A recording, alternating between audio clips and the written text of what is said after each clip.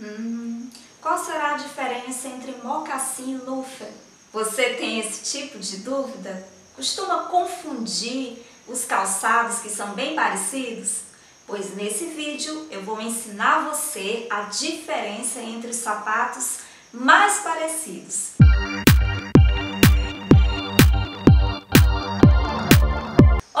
Sejam bem-vindos ao meu canal. Eu sou Raquel Rocha, consultora em imagem e estilo. E se você ainda não me segue nas redes sociais, o meu Instagram é moda com Raquel Rocha. Teve aí uma pequena alteração no nome de usuário para que vocês me encontrem com mais facilidade. Lá eu sempre estou postando fotos com dicas também de looks para vocês.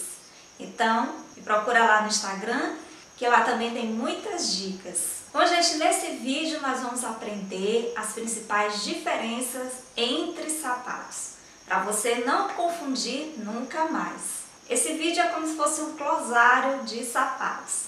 A gente vai aprender aqui as principais diferenças em que mais as pessoas costumam se confundir. Mas antes da gente começar, não esqueça de deixar aquele like para dar aquela força aqui para o canal. Nossa primeira diferença de calçados é o mole com salto e o flat mole. Pois é, gente, essa aí também pega muita gente. O mole com salto é aquele mole que, como o próprio nome diz, ele possui um salto na parte de trás. Porque a principal característica do mole é que a parte de trás do calçado é aberta, certo, gente? Essa é a característica do mole. A parte de trás sempre vai ser aberta, sem nenhum tipo de tira. E quando ele vem com salto, seja qual formato de salto for, ele vai ser considerado mole com salto. O mule é isso, a parte da frente, ele vem trazendo a característica de algum calçado, como por exemplo o lufer, né? O lufer está super em alta, então ele pode ser um luffy ali na parte da frente, mas atrás ele é aberto, não é fechado. E com a presença do salto ele é caracterizado ou ele é denominado mule com salto. Já o flat mule tem a característica de não ter salto, ele é baixinho, ele pode ter um mínimo de saltinho assim como se fosse uma rasteirinha, mas ele não tem nenhum tipo de salto permanece a mesma característica de ser aberta na parte de trás e muitas vezes fechada ali na parte da frente, né? É, comumente sempre é fechada a parte da frente, mas que a parte de trás não tem nenhum modelo, né? Tudo aberto. E se não tiver nenhum salto, a gente chama de flat mole. Acho que agora vocês não vão mais confundir essa diferença aí dos mules. Então, se o calçado tiver salto, mule com salto. Se não tiver salto, flat mule. Próximo é o que mais se confunde. Nossa, muita gente confunde, não é só pessoas não, mas até mesmo lojas costumam se confundir também e usar o nome errado, que é o lufer e o mocassim. Pois é, gente, esses dois calçados são muito parecidos, muito mesmo, mas existe uma diferença básica que você vai aprender agora para nunca mais confundir os dois calçados.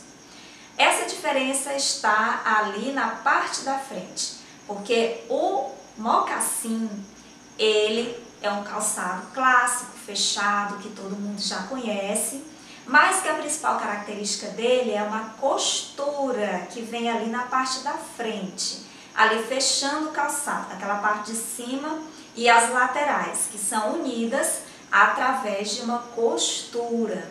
Isso é o que vai caracterizar o mocassim, que é um calçado que veio aí do armário masculino e que agora né, migrou, felizmente, para o guarda-roupa feminino. Porque o mocassim é um calçado muito confortável.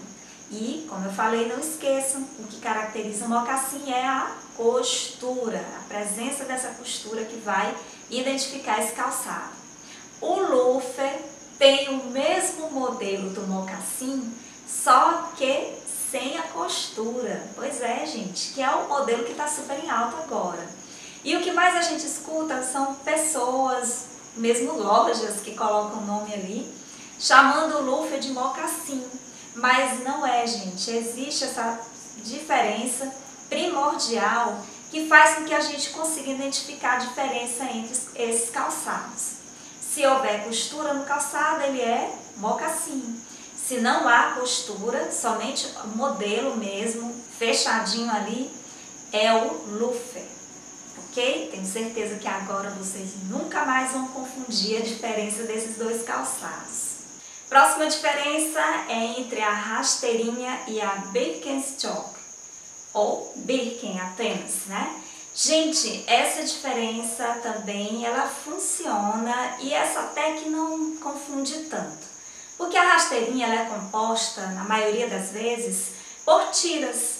Essas tiras normalmente são mais finas, é uma quantidade menor ou maior de tiras, você pode encontrar rasteirinhas com muitas tiras, rasteirinha com poucas tiras, mas ela normalmente contém uma tira mais fininha. É um calçado maravilhoso, muito confortável para ser usado. As Birkens também são muito confortáveis, mas a diferença delas para a rasteirinha é que elas possuem uma tira bem mais grossa, acompanhada de uma fivela. É, os modelos mais atuais, né, que estão muito em alta, inclusive isso já vem de muitas estações passadas, era conhecido como chinelo da vovó, né? Então elas normalmente têm duas tiras grossas ali na parte da frente, acompanhado de fivelas e pode ou não ter uma tira atrás, ali no tornozelo. São baixinhas, assim como a rasteirinha, mas normalmente o solado é bem mais grosso, é mais robusto do que a rasteirinha comum. Então essa aí é a grande diferença entre essas duas. Então não vá mais confundir rasteirinha com Birken. Próximos calçados que costumam ser confundidos é a sapatilha e a espadrilha. A sapatilha é um calçado que é um sapato, mas sem salto. E aí por isso ganhou esse nome de sapatilha. É, normalmente a gente vai encontrar sapatilhas com bico fino ou bico redondo.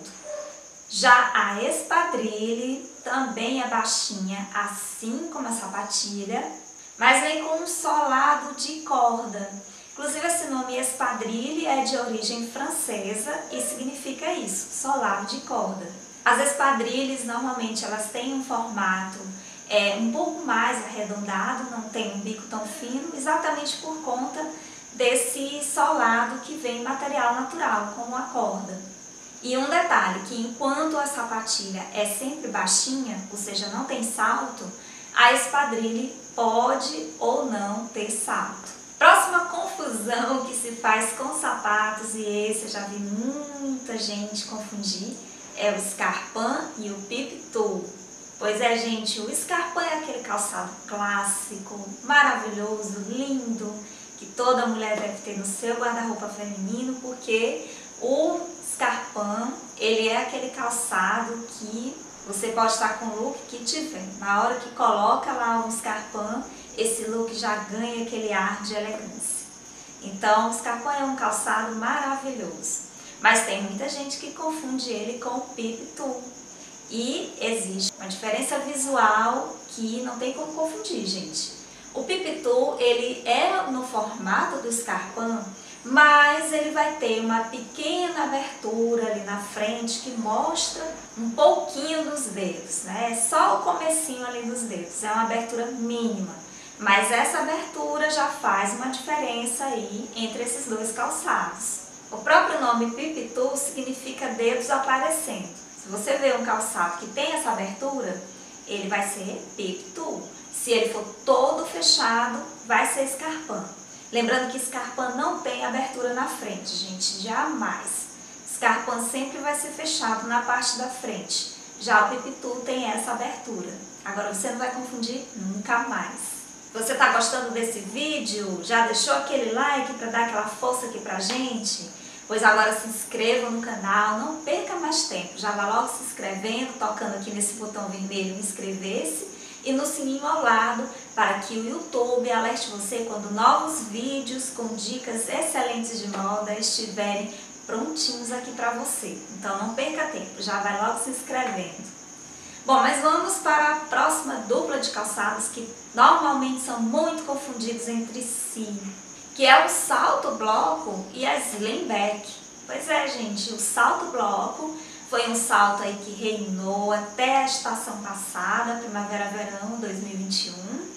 Foi eleito assim o salto de 2020 e ele já vinha aí ganhando força no mundo fashion desde 2019. Então o salto bloco ele é caracterizado por ser um salto grosso, de formato quadrado, por isso que ele tem esse nome de bloco. Ele realmente é um bloco. E tem muita gente que confunde com um outro tipo de calçado chamado slimback.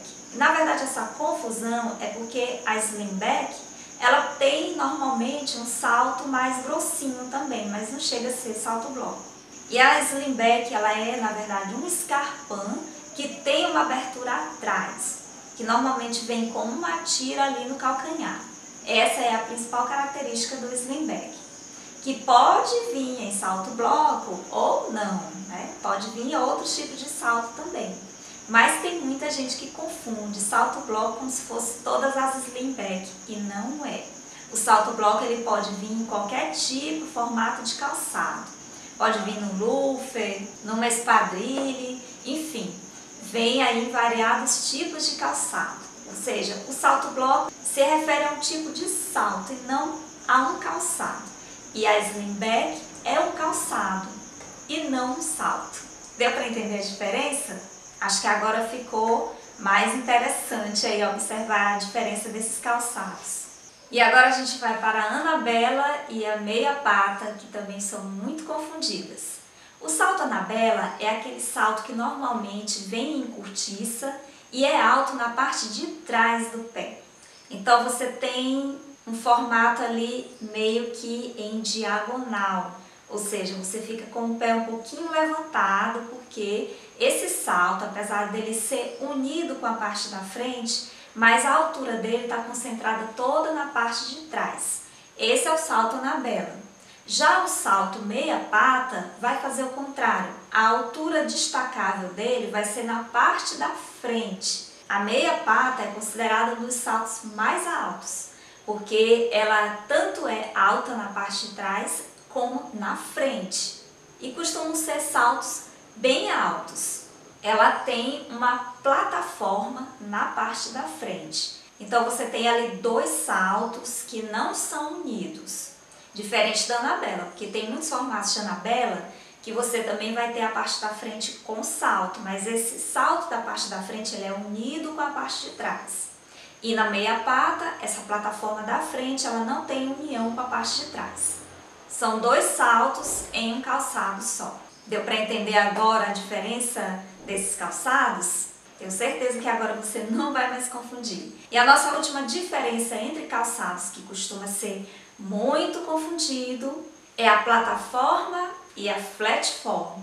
Pois é, gente, tem uma diferença e acho que esses dois calçados eles acabam ganhando um nome apenas, tudo é plataforma ali, porque as pessoas não costumam ter esse conhecimento. Então aqui a gente vai saber a diferença entre esses dois calçados. A plataforma são saltos que não são retos e costumam ser saltos bem altos, sendo de 14 centímetros até 40 centímetros. Então, plataforma já tem essa característica de ter salto bem alto e não reto. Normalmente a parte de trás vem mais alta.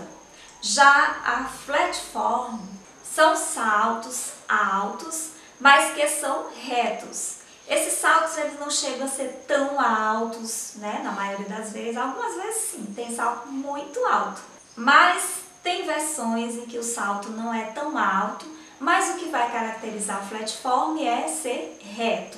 Então você vai encontrar tênis flatform, até mesmo all-star flatform, sandálias flatform, ou seja, existe uma variedade bem grande que vai caracterizar é o modelo do salto que é reto, que como eu falei, pode ser um salto mais baixinho, como de um tênis, e pode ser um salto bem alto, assim como a plataforma.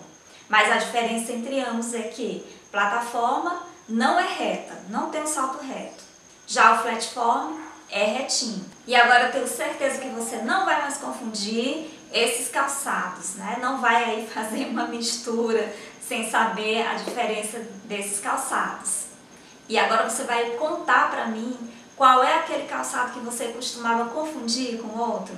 É o mocassim com loafer ou é uma dessas outras opções que eu mostrei aqui para vocês? Deixe aí nos comentários para a gente ler.